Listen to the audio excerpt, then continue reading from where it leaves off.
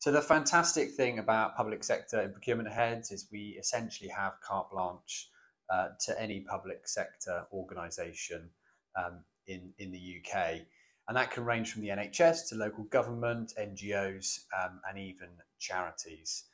Where we typically have um, most success is with uh, central government organisations, emergency services, and even housing associations with both interim and uh, permanent uh, appointments.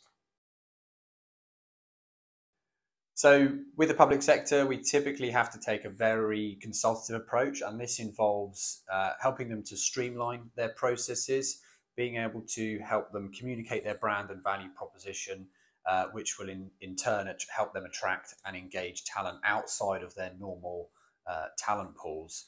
All of this helps them save time, effort, uh, and ultimately cost.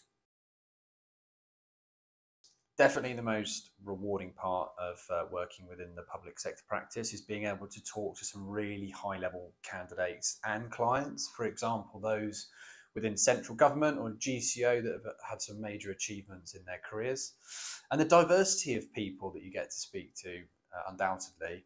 And finally, as cliche as it sounds, being able to help public sector organisations uh, save money, which ultimately saves the UK taxpayer.